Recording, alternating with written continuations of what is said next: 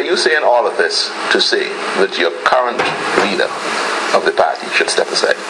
He should.